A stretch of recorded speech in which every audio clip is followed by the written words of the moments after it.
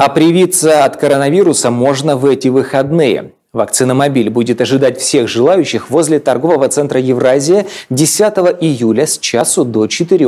11 июля вакцинация пройдет у торгового центра «Рио» с 2 до 6.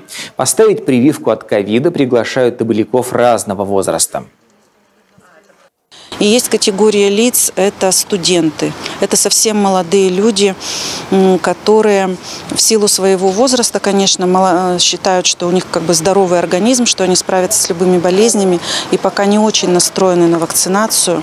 Но их образовательный процесс связан, конечно же, со скученностью, да, то есть все равно они работают, учатся в коллективах. Поэтому это тоже та категория лиц, которые должны быть обязательно привиты. Мы с ними работаем, убеждаем, проговариваем. Для вакцинации при себе нужно иметь паспорт и СНИЛС.